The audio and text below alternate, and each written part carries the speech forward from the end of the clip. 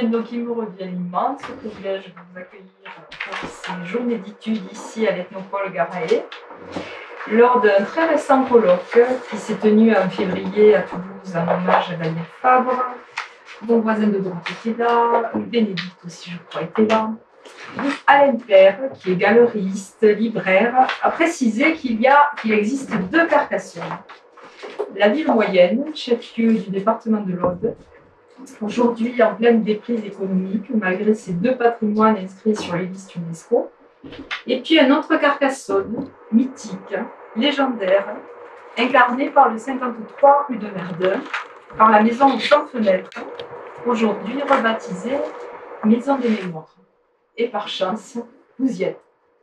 Ici vivait Jo Bousquet, le poète blessé, au chevet duquel se retrouvaient, entre autres, les membres du groupe d'études régionalistes et de folklore au doigt, René Nelby, Jean Lebro, Louis Aguilère, Pierre Cyr, Cyr, Paul Cibra, lesquels nourrissaient d'ethnolinguistique, de contes, d'us et coutumes, l'œuvre du poète paralysé, mais aussi, pour nombre d'entre eux, la leur propre.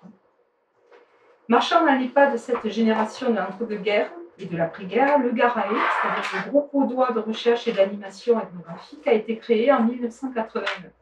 Pour ceux qui ne nous connaissent pas, il s'agit d'une association loi 1909, labellisée Ethnopole en 1996 par le ministère de la Culture, une association principalement occupée de recherche ethnologique, et ce, dans ses différentes déclinaisons.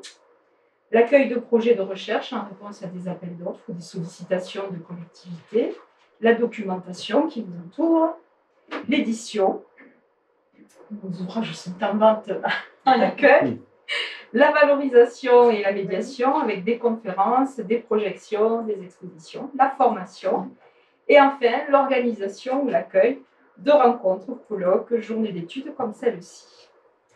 Quatre grandes thématiques président aux activités du GARAE l'ethnologie des territoires, l'ethnologie du patrimoine, le patrimoine culturel et matériel, et enfin archives et histoire de l'ethnologie de la France.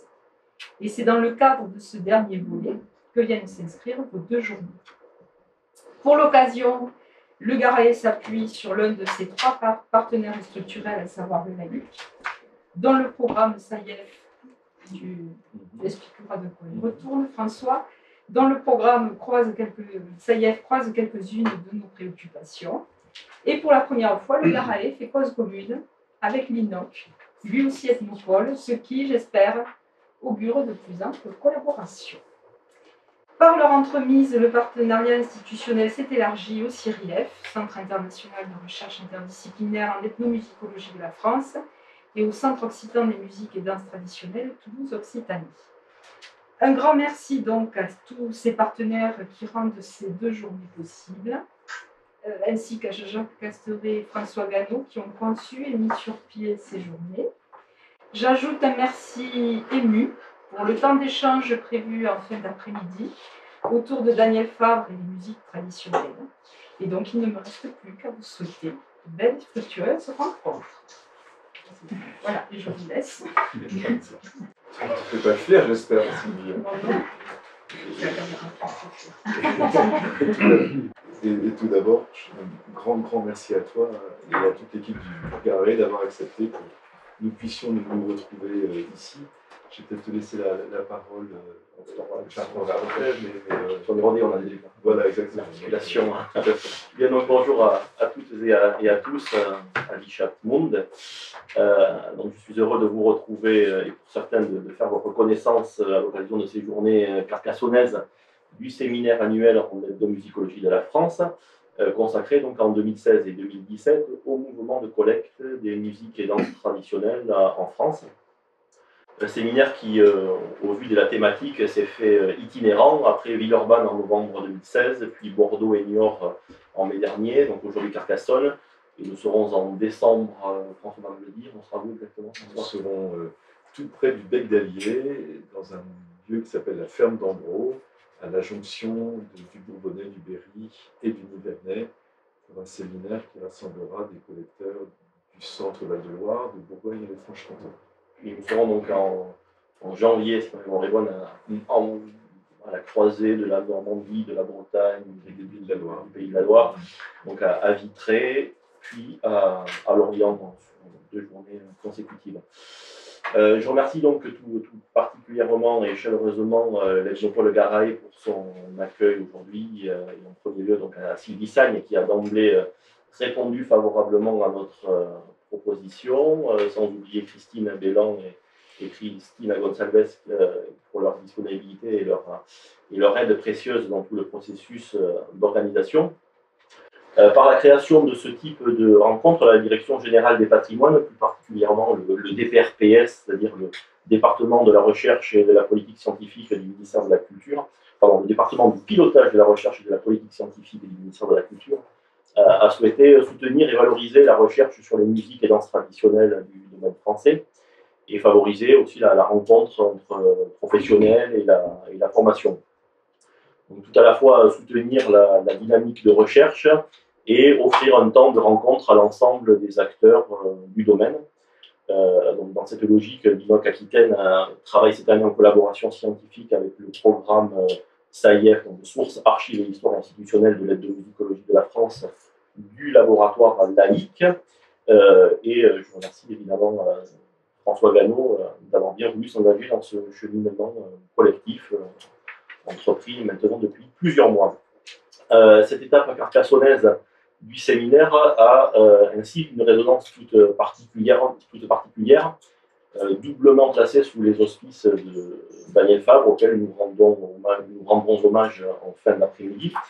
Euh, en premier lieu, parce que le présent séminaire euh, dédié au mouvement de collecte euh, a souhaité s'inscrire dans le prolongement du séminaire SAIF qui a duré, je crois, deux ans et qui a été donc dédié aux campagnes d'enquête du Musée national des arts et traditions populaires. Un séminaire qui donc a été porté, a été animé par François, par Marie-Barbara Benidek et initialement par Daniel Fabre, extrêmement engagé dans cette dans cette euh, opération. Donc euh, l'idée avait germé euh, de, parfois autour d'une table, de, voilà, d'aller d'aller plus loin et de s'intéresser à une espèce de conséquence du, de la dynamique ATP et, de, s'intéresser au mouvement de, collecte qui a, qui, a suivi un peu partout en France. également, et Sylvie l'a très bien rappelé tout à l'heure, hospices de Daniel Favre aussi parce que sommes aujourd'hui à la croisée de, deux ethnopoles et on sait évidemment ce que les ethnopoles doivent à, Daniel Favre qui nous avait euh, d'ailleurs ici même en quelque sorte adoubé, avait encouragé au développement du label il y a déjà 3 ou 4 ans. Ou 4 ou 5 euh, dans la foulée, je remercie évidemment euh, Charles Dominique, ceux qui nous ont euh, aidés à, bâtir euh, ce programme. Donc euh, Luc, en, premier lieu, l'aide a été précieuse pour déterminer différents, noms du paysage des, collecteurs. donc Luc qui préside également le, CIRIEF, l'association des, des du domaine français et qui a euh, particulièrement suivi la mise en place du séminaire annuel en ethnomusicologie de la, de la France. Euh, le CIRIF qui d'ailleurs est mis largement à contribution puisque Marlène euh, de l'Université de Poitiers et Corinne Savy, qui est chercheur associé à l'Université de Montpellier et au laboratoire Irémus de Paris 4 Sorbonne, sont l'une et l'autre des, membres actifs du, voilà, du CIRIF, donc on arrive on arrive à des convergences. Euh, et je les remercie euh, de leur, euh, de leur aide, puisqu'elles auront le, rôle ingrat de la modération de nos tours de table cet après-midi. Et demain matin, je veux aussi remercier Gwenaël Sarat du, Conservatoire Occitan, du Centre Occitan des musiques et danses traditionnelles, avec qui on a échangé aussi pour le programme, et, Bénédicte de Bonne-Mazon, qui par ailleurs nous fait le plaisir d'intervention euh, aujourd'hui.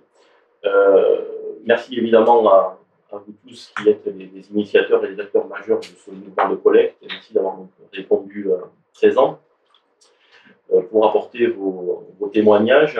il nous a semblé important de faire, malgré les contraintes, une, large place au témoignage individuel dans ce séminaire, notamment en raison de la multiplicité des, trajectoires individuelles et des, et des, terrains. Alors évidemment, on a bien conscience que cette série de séminaires euh, n'est pas n'a rien d'exhaustif. Euh, je vois excuser par exemple Renat Durier et Jean-Pierre Lafitte, euh, notamment Renat qui a abandonné ses vaches et qui, sont partis pour trois semaines en Amérique du Sud pour faire des concerts et se, et se balader. Donc autant de, de, de, noms, il y en a, bien d'autres, que nous retrouverons, je l'espère, puisque pour nous, cette, ces journées sont une sorte de premier jalon euh, nous pensons en effet organiser, euh, après ces travaux préliminaires, un colloque dont nous pourrons parler d'ici demain, un colloque alliant recherche et aussi dimension plus euh, politique publique en matière des collectes et des, archives qui ont été constituées à l'occasion de ces collectes. Donc, également un travail de plus longue main, plus exhaustif sur les collecteurs qu'évoquera François.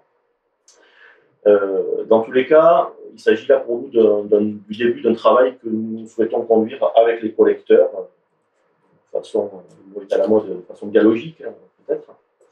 Euh, voilà, un travail pour lequel il s'agit, euh, tel qu'on le voit aujourd'hui, il s'agit pour nous de mieux cerner les diverses facettes et époques de vos collectes et les dynamiques individuelles et collectives mouvement, les diverses approches autant philosophiques que méthodologiques, euh, voilà, autant de points qui, euh, au-delà de préoccupations purement historiques, anthropologiques et, sociales, permettront aussi évidemment de mieux cerner les fonds d'archives euh, sonores qui se sont constitués avec le temps. je m'arrête là, autant pour les remerciements que pour la, présentation sommaire des, principes de, ce séminaire et va compléter heureusement Merci, Jean-Jacques déjà, tu as déjà dit l'essentiel, donc ce sera vraiment des, compléments. Euh, Sylvie a également évoqué euh, donc ce programme de, recherche qu'avec Marie-Barbara que j'essaie de, faire avancer depuis 2013. Euh, donc, un programme qui s'appelle Sources, Archives et euh, Histoire institutionnelle de l'ethnomusicologie de la France, ce qui donne l'acronyme SAIEF et qui a donc été effectivement accueilli euh, au sein euh, d'une équipe laïque, laboratoire d'anthropologie et d'histoire de l'Institution de la culture, qui est une composante de l'Institut interdisciplinaire d'anthropologie du contemporain, qui est lui-même, excusez-moi, cette généalogie un petit peu difficile à mastiquer, mais, ça cadre un peu les choses, donc qui est une, unité mixte de recherche EHESS-CNRS. Euh, pour le dire peut-être plus, simplement, euh, ce que nous tentons, c'est en fait une histoire croisée de l'ethnomusicologie de la France et du mouvement revivaliste. Deux, parcours qui se superposent, qui se croisent régulièrement, qui ont néanmoins euh, leur autonomie et qui, ont également aussi leur, propre régime d'historicité. Euh, mais ces deux parcours institutionnels et humains ont eu, dans les années 1970, un point de jonction euh, initialement conflictuel autour de la thématique des enquêtes euh, et des collègues de chansons des résidences traditionnelles et de l'accès à ces, à, ces collègues. Euh, donc c'est sur ce, sur ce nœud conflictuel et sa résolution précisément par l'institutionnalisation du mouvement de musique traditionnelle que nous avons eu l'idée de développer ce programme de recherche SAIEF. Euh, donc, je l'ai dit, il a démarré en 2013 et euh, ben, six ans et, un nombre de publications qui commencent à devenir euh, un peu consistants, même si ce sont essentiellement des articles. Ce que nous prévoyons maintenant hein, dans la séquence, je dirais, 2017-2019 où nous sommes engagés, c'est deux choses principalement l'éditorialisation des collectes du Musée national des arts et traditions populaires. Donc, ces collectes ont fini par être numérisées, par être mises à la disposition notamment des centres de musique traditionnelle en région, mais jusqu'à présent, je dirais, c'est sous la forme la plus, brute de décoffrage que ce travail a été, mené. Et ce que nous ambitionnons maintenant, Marie-Barbara Le et moi, avec le soutien de la documentaliste du, du labo. C'est donc la, création d'une véritable plateforme d'éditorialisation qui devrait être hébergée sur le site de la commune Paris Sciences Lettres et auquel nous avons donné le nom de Réveiller. c'est le projet Les Réveillés, au féminin pluriel, bien entendu, euh, que nous essaierons de concrétiser euh, d'ici 2019 ou 2020.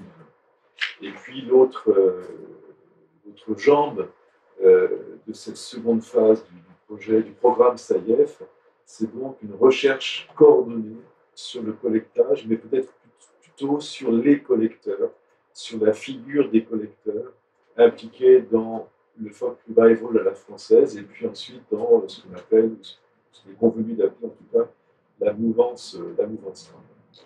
Et c'est autour de ce programme, ou plutôt c'est ce programme, où on s'est rendu compte en, discutant avec Jean-Jacques, qui était euh, un auditeur participant très assidu de, ce séminaire que nous avons proposé euh, avec Daniel pendant deux années euh, à l'UHESS. C'est donc en, discutant avec lui qu'on s'est rendu compte qu'on pouvait, je dirais, s'écouler, faire, faire œuvre commune. Alors, peut-être quelques, quelques, indications qui vous ne vous apprendront rien, mais permettront peut-être de mieux comprendre euh, quels ont été nos, présupposés. En fait, on, est parti d'un constat, une hypothèse au départ, mais qui est vraiment devenue rapidement une, conviction, qui est que le collectage a été un élément euh, constitutif, déterminant et structurant euh, du mouvement, même si au départ c'est un peu involontaire, et en fait en réaction au refus plus ou moins euh, aimablement formulé, plus ou moins constant, mais au refus quand même des ethnomusicologues du Musée des Arts et Traditions populaires. Donc ça, c'est une première réserve que l'on peut faire. Et puis la seconde, c'est que si le collectage a été cet élément que je qualifie de constitutif, de déterminant et de structurant, il a toujours été, me semble-t-il, envisagé non pas comme une fin, mais comme un moyen comme la condition reconnue nécessaire de la démarche créative. En tout cas, euh, même si c'est en réaction et en partie euh, conditionnel et non, euh, objectif causal, le collectage qui en est résulté est un néologisme, donc on peut comment dire, mettre au crédit du appellera ensuite trad l'invention de ce néologisme qui n'est pas attesté dans la langue française avant les années 70-80. On, parle depuis très longtemps de collecte, parle de collecteur, mais au début, le collecteur, bah, c'est le personnage du Nouveau Testament, et, plus tard, c'est celui qui va collecter la, taille dans les pays, euh, euh, pays d'élection, sous l'Ancien Régime, mais, collecteur associé au, folklorisme, c'est évidemment plus récent, et collectage, c'est tout à fait récent. Et puis, euh, et c'est plus important, ce mouvement de collectage, il a vraiment été le déclencheur du processus d'institutionnalisation que le mouvement a connu au tournant des années 70 et, 80. En effet, euh, la prise de contact entre euh, ceux qui se qualifiaient de collecteurs, qui organisaient des, rencontres, voire des assises, et la direction de la musique, où venait d'être nommé dans le contexte de l'alternance de 1981 le journaliste, compositeur et musicologue euh, Maurice Fleuret, euh, c'est vraiment à ce moment-là que, tout, démarre. Euh, il y a un personnage qui sert un peu d'intermédiaire entre cette direction de la musique et, le mouvement. Ce personnage, son nom vous est sûrement familier, vous l'avez même beaucoup d'entre vous rencontré. Je parle bien sûr de, Bernard Lorta-Jacob, ethnomusicologue, formé aux ATP, viré des ATP, récupéré au musée de l'homme et qui euh, donc euh, est appelé euh, par Fleuret comme chargé de mission musique trad donc au printemps 1982 et très peu de temps après à Rissorangis, donc en banlieue sud de, Paris, a lieu, je dirais, la, rencontre séminale, la rencontre initiale entre Maurice Fleuret et ben, je me demande si Guy n'était pas présent à, cette rencontre de, de, Rissorangis. En tout cas, euh, ça a vraiment été un, moment fondamental, d'où est parti tous les processus d'institutionnalisation qui ont, qui ont suivi. Donc ça, c'est, je dirais, la chronologie euh, récente, fine. ce qui m'est apparu, c'est qu'il était en fait sans doute nécessaire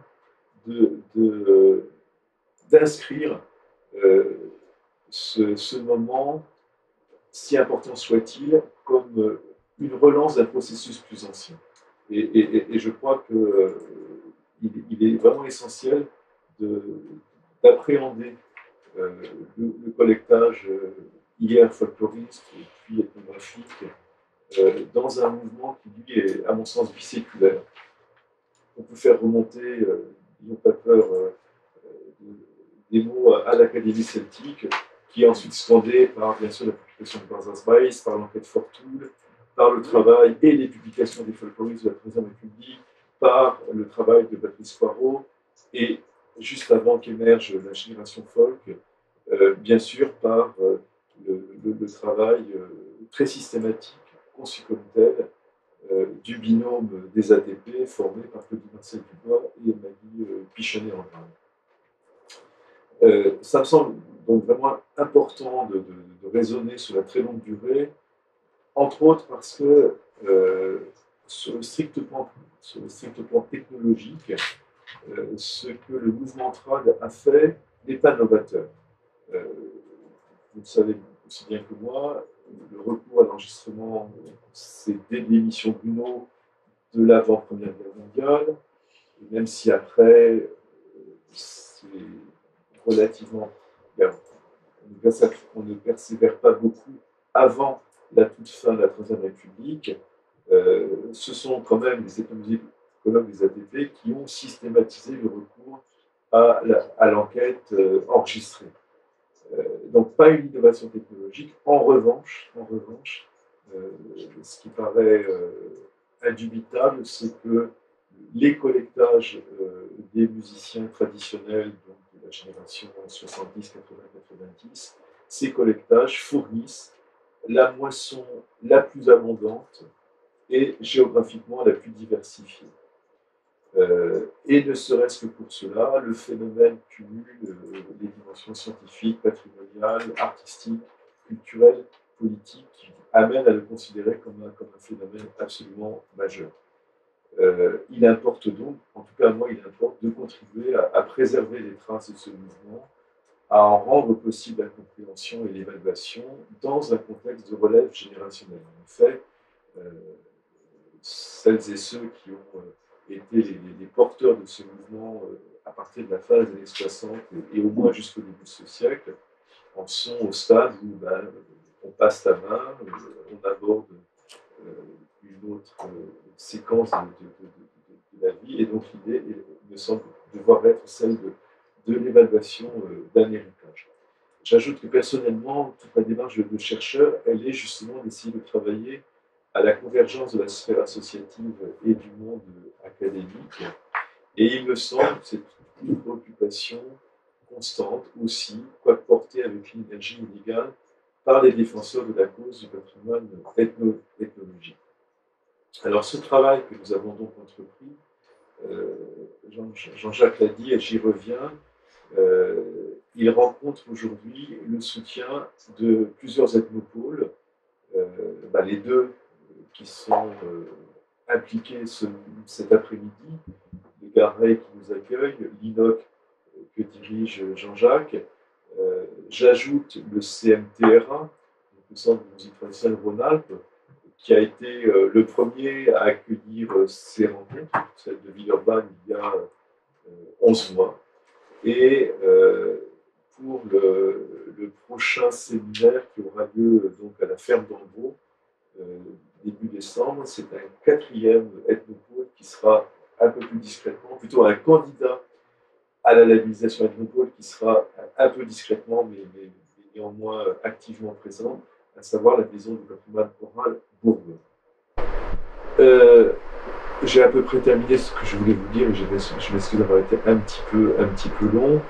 Donc, euh,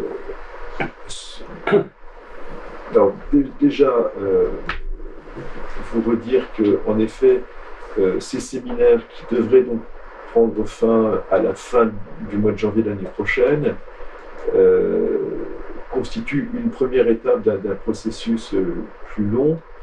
Jean-Jacques a déjà évoqué le colloque que nous aimerions bien monter pour en 2018 ou plus tard début 2019, qui serait un petit peu le, bilan de, cette, première, cette première étape. Et ensuite, ce que nous ambitionnons, c'est euh, bah, de passer euh, du super échantillon régionalement suivi, en fonction, qui est la, logique en fonction duquel ce séminaire en plusieurs séquences a été organisé. Donc on, envisage de passer de cet échantillon à l'appréhension beaucoup plus ambitieuse quantitativement parlant du phénomène en procédant à une enquête collective auprès de tous les collectrices et collecteurs qui auront pu être identifiés, entre autres grâce à, votre aide, euh, identifiés, localisés, et qu'on aimerait bien donc démarcher dans le cadre d'une enquête assez classique par, euh, questionnaire, euh, éventuellement suivie là où ce sera possible et si les moyens être abondés par des euh, recueils de témoignages euh, filmés ou au minimum enregistrés. Et, bien entendu, euh, cette enquête collective, l'ambition serait, dans une dernière étape, d'en exploiter les, résultats qui se à l'horizon 2021-2022. Donc vous voyez, c'est un, projet ambitieux sur le, sur le moyen terme.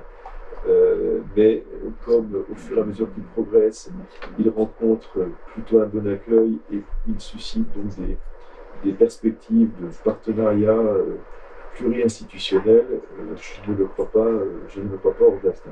Voilà. un tout petit mot pour conclure sur l'organisation de, cette, de, cette séance, de cette rencontre. Donc, si vous avez temps de parcourir les documents que nous avons transmis, vous allez constater je ne fais que répéter ce qui y figure, mais euh, certains d'entre vous l'ont peut-être lu il y a déjà un moment et peut-être un petit peu rapidement. Donc le, principe, est vraiment extrêmement simple. Et d'ailleurs, ici, il devra subir quelques accommodements avec la disponibilité des uns et des autres. Mais enfin, en gros, euh, nous avons une première séance qui permettra à chacun, à chacune et à chacun de dire comment il est entré en collectage. Donc, euh, quelles sont euh, les circonstances de la vie personnelle, des préoccupations euh, de toute nature qui l'ont amené à se dire